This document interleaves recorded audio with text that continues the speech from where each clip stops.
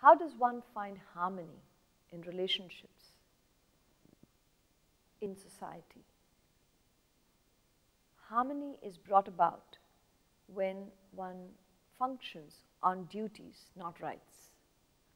Now, in a relationship, you can claim rights, but that would only bring about a lot of agitations in a relationship because each one is trying to get something out of that relationship.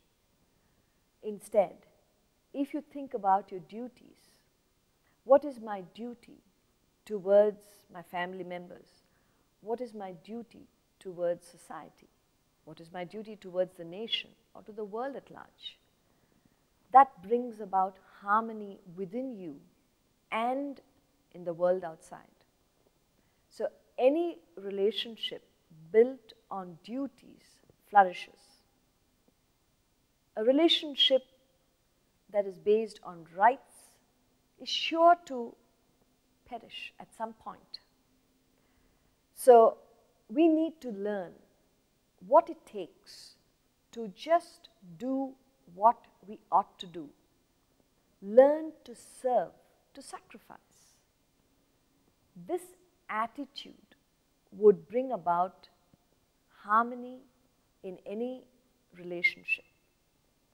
Now, when we talk of duties, it is not to be worried about one's duties. Each one understands they have a role to play. And if we understand our roles and play it to the best of our ability, be it a homemaker or a person at work or with friends in society, any aspect of your life based on duty will bring about harmony within and in the relationship. What prevents us from doing our duties is the expectations that we have from others rather than what we need to do for them. So, this expectation can be controlled if we make proper assessments.